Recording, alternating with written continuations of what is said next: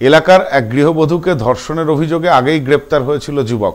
সম্প্রতি ধর্ষণে ছাড়া পেয়ে সেই নির্যাতিতাকেই ফের ধর্ষণের অভিযোগে গ্রেপ্তার বাগদার যুবক। ঘটনায় চাঞ্চল্য ছড়িয়েছে এলাকায়। অভিযুক্তকে গ্রেপ্তার করেছে বাগদা থানার পুলিশ।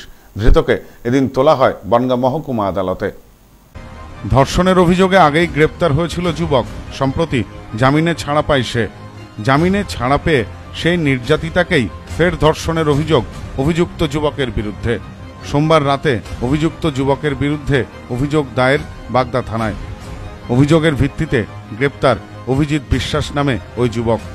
বাগদা থানার পুলিশ সূত্রে জানা গেছে, বাগদা থানার বাক্সা গ্রামের তরুণীর বছর দশেক আগে বিয়ে হয় গ্রামেরই এক যুবকের সাথে। গৃহবধূর আট বছরের এক কন্যা সন্তানও রয়েছে। এসবের মাঝেই তরুণীর সাথে গ্রামের এক যুবক অভিজিতের পরিচয় হয়। তাদের মধ্যে ভালোবাসার সম্পর্ক গড়ে ওঠে। ওই গৃহবধূকে বিয়ের প্রস্তাব দেয় অভিযুক্ত। বিয়ের প্রস্তাব দিয়ে একাধিকবার সহবাস করে বলেও অভিযোগ। এরপরই বিয়ে করতে অস্বীকার করে অভিজিৎ। গত চৌঠা এপ্রিল বিয়ে করতে অস্বীকার করায় অভিজিতের বিরুদ্ধে বাগদা থানায় অভিযোগ দায়ের করেন ওই গৃহবধূ। অভিযোগের ভিত্তিতে যুবককে গ্রেপ্তার করে বাগদা থানার পুলিশ। সম্প্রতি জামিনে ছাড়া পায় সে। অভিযোগ, জামিনে ছাড়া পাওয়ার পর সোমবার রাতে গৃহবধূ যখন বাড়িতে একা ছিলেন, জোরপূর্বক তার বাড়িতে ঢুকে একা থাকার সুযোগ নিয়ে গৃহবধূকে সোমবার ফের ধর্ষণ করে অভিযুক্ত যুবক। ঘটনার পর যুবকের বিরুদ্ধে থানায় ধর্ষণের মামলা দায়ের করে গৃহবধূ। ধর্ষণের অভিযোগ পেয়ে রাতেই অভিযুক্তকে গ্রেপ্তার করেছে বাগদা থানার পুলিশ। মঙ্গলবার ধৃতকে বনগাঁ মহকুমা আদালতে তোলা হয়। এ বিষয়ে নির্যাতিতার আইনজীবী সায়ন ঘোষাল বলেন অভিযোগ পাওয়ার পর অত্যন্ত দ্রুততার সাথে ব্যবস্থা নেয় বাগদা থানার পুলিশ। রাতেই বিষয়টি জানানো হয় বনগাঁ পুলিশ জেলার পুলিশ সুপার ও সাইবার ক্রাইম থানায়। তৎপরতার সাথে অভিযুক্ত গ্রেপ্তার করে বাগদা থানা। অভিযুক্তকে এদিন আদালতে তোলা হয়।